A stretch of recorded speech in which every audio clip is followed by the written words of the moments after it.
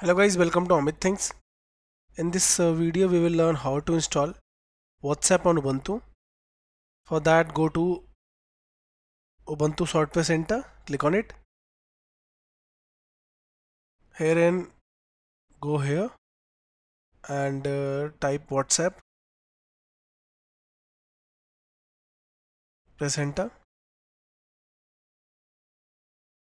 Now different versions are visible for related softwares.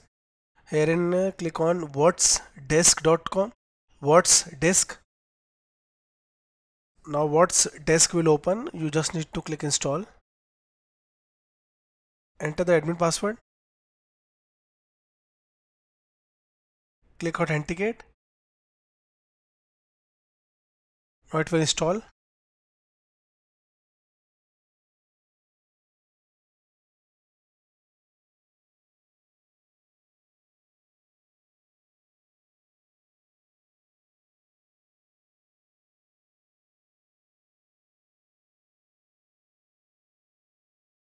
We have successfully installed it.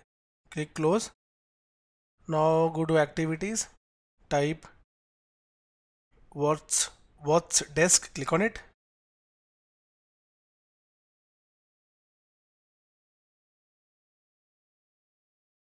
Now using this you can use your mobile and scan the QR code so that you can open WhatsApp here. So guys this is how you can open WhatsApp on Linux. Thank you for watching the video.